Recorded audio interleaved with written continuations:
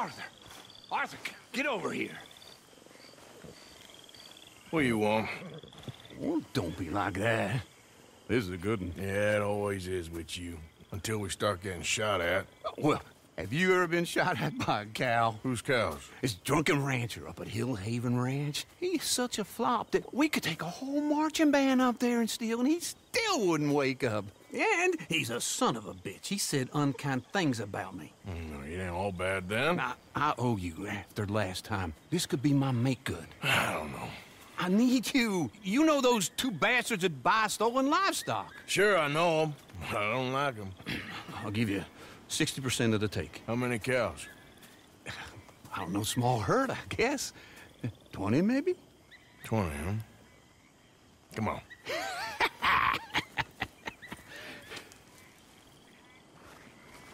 Okay, let's mount up. So where's this ranch? Right in the middle of Scarlett Meadows, just past the Rhodes turnoff.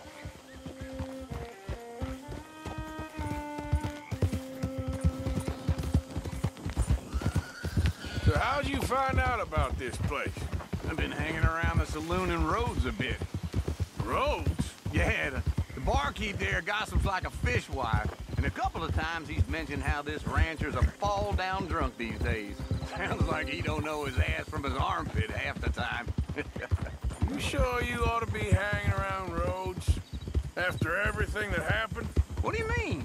I mean, that it ain't gonna do your health no good if they find out you ride with us. Nah, it's fine. I was never there at the same time as you boys, and they'd never reckon on a distinguished old feller like me running with a bunch of reprobates. Well, just be careful. Yep. How old are you, anyway? Well, let's just say I was born sometime between the fall of 49 and the fall of Rome. and my second wife always used to describe me as ageless, though she did leave me for a younger man.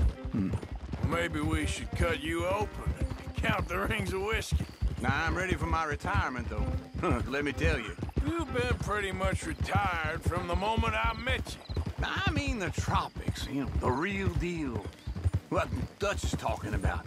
That's why I jumped on this opportunity. Sooner we get enough money to leave, the better. Dancing girls with flowers in their hair, warm sand, cold beer. That's how I'm gonna see out my days.